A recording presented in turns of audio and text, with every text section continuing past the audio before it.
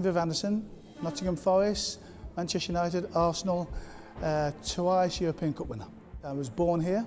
Uh, my parents are still alive here, so I'm, I'm back quite regularly seeing them. They're, they're in their 80s now, so uh, I bought, as I've played football from the very early age of four, I can remember.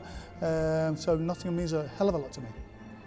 I played a lot of football and that's what I, I remember. That looking at the kids out there today I was exactly the same. Every time I got an opportunity to play football I was out on the streets on the park anywhere you could get a football I would play.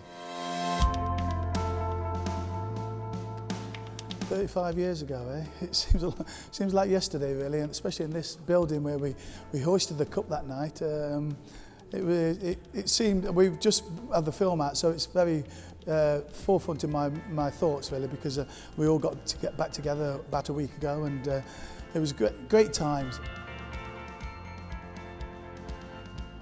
Being first at anything is a great achievement, but um, there was a lot of speculation at the time. Uh, myself and a lad called Laurie Cunningham, who's sadly not with us, uh, there was always debate whether it was going to be Laurie or whether it was going to be me, and, and the manager actually uh, Ron Greenwood picked me on the night and it was uh, a great a great achievement and, and I'm still very honoured to be the very first to play for this country.